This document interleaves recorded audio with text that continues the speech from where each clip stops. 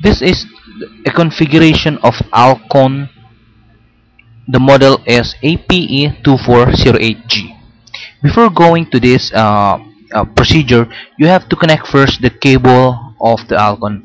From the Alcon antenna going to the DC injector P data out then another cable from the data in going to your laptop or desktop network.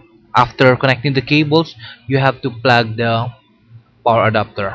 Then wait for a few seconds then remove first the remove temporarily the P data out then replug it again and you can see a light indicator from the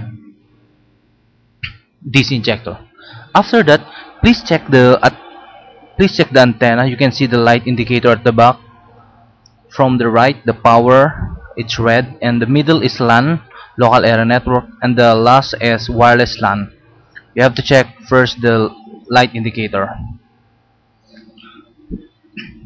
After checking the physical connection install the um, AP locator the software from the uh, box or you can download to the alcon.tw go to support and downloads and uh, search for the utility AP locator after installing this is the icon. Double click this one. And this is the interface. The device is detected. And these are the menus here. If you want to click search if you want to search a new device click search. If you want to change the IP settings of the Alcon device IP setting. If you want to restore the factory default just click default.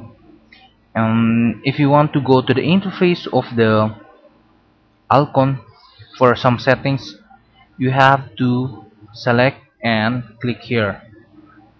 But be sure to check your IP address.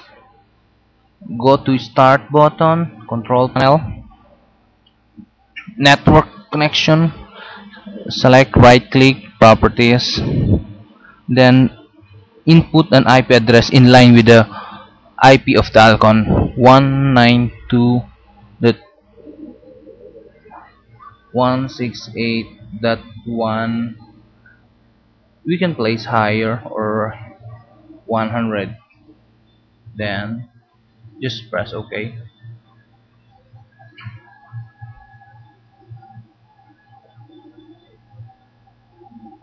After changing the IP click here then web.